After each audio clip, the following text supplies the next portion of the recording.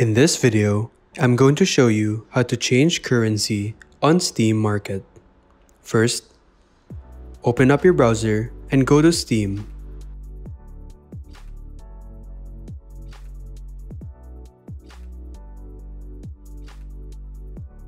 Then add a game to your cart.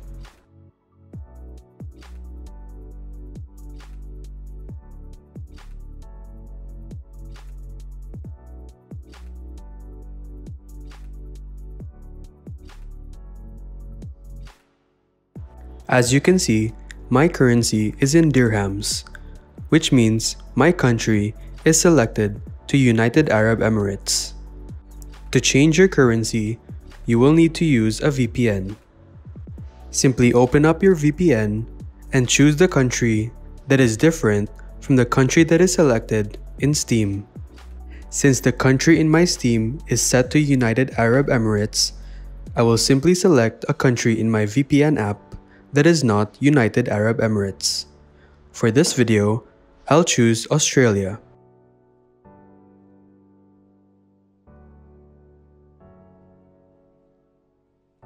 Once your VPN has established a connection, simply refresh the website. Now, there will be a new option to change your country. Press the country that is the default and choose the new country. For this video, my new country is now Australia. Now, my currency changed from dirhams to Australian dollars.